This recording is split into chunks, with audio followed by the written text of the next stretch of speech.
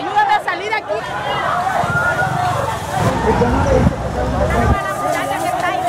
¡Eh, quita la señora, quita la señora! Eh!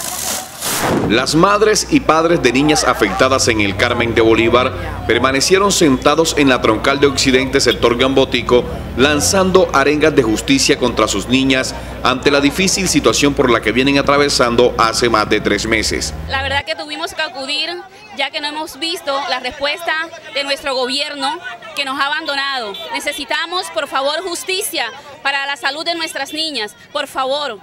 Necesitamos que escuchen eh, nuestro dolor, nuestra preocupación con nuestras niñas. No es una obra de teatro como nos lo han dicho, no, por favor, necesitamos que nos colaboren, que nos apoyen, que nos ayuden a solucionar el problema de nuestras niñas. ¡Justicia! ¡Justicia! ¡Justicia! ¡Justicia! ¡Justicia! Así permanecieron dos horas hasta que llegaron hombres del SMAT y lanzaron gases de aturdimiento muy a pesar de que la manifestación estaba pacífica.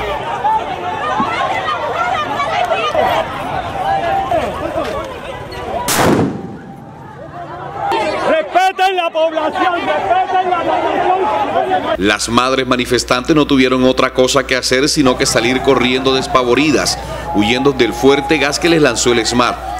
Allí se comenzaron a caldear los ánimos al conocer que varias de estas madres resultaron heridas tras estallidos. Estas tuvieron que ser atendidas en urgencias del hospital. Los antimotines no respetaron. Ellos llegaron agredidamente, nos invocaron todo con gas lacrimógeno sin haber motivo, porque el pueblo no los agredió a ellos como ellos nos agredieron a nosotros. Y aquí los dolidos somos nosotros los padres de familia, porque este paro es por nuestras hijas, por la salud de nuestras hijas. Este, nosotras las madres todas estábamos sentadas, nos encontrábamos aquí en la troncal, en la, en la troncal y estábamos haciendo un llamado al presidente para que se hiciera presente porque nuestras hijas están padeciendo de la, de, de, de, la salud, nuestras hijas están enfermas y en realidad necesitábamos que el señor presidente se se acercara aquí a dialogar con nosotros, porque nosotros estamos aquí en una mesa de diálogo. Nosotros estábamos esperando, era que él se acercara para una mesa de diálogo cuando llegaron unos antibotines atropellándonos. No, no respetaron que nos encontrábamos sentadas y nos, nos hirieron, porque a mí me hirieron en la mano. Me, me pegó la, lo que fue, me pegó en la mano. Yo cuando me sentí, toda llena de humo y no podía respirar. Unos señores que me, auxiliaron porque los antibotines yo les hice así con una banderita que tenía y ellos no me auxiliaron, sino que unos vendedores ambulantes fueron quienes me recogieron y me echaron agua en la cara. Después de todo esto, varias personas se enfrentaron al SMAT y poco después la carretera troncal volvió a la normalidad. Los poquitos padres que quedaron en el sector Gambotico después de los disturbios tomaron la decisión de llegar hasta la alcaldía municipal para hablar con el alcalde ante la desesperante situación por la que atraviesan sus niñas.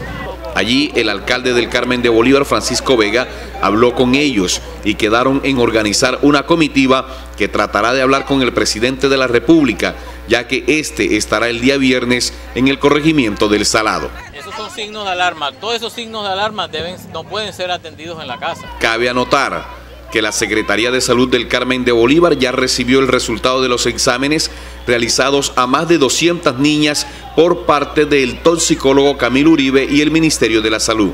Todos los exámenes salieron negativos a metales pesados. Con la cámara Luis Pipe Simanca, Imer Alvis, Noticias Telemontes de María.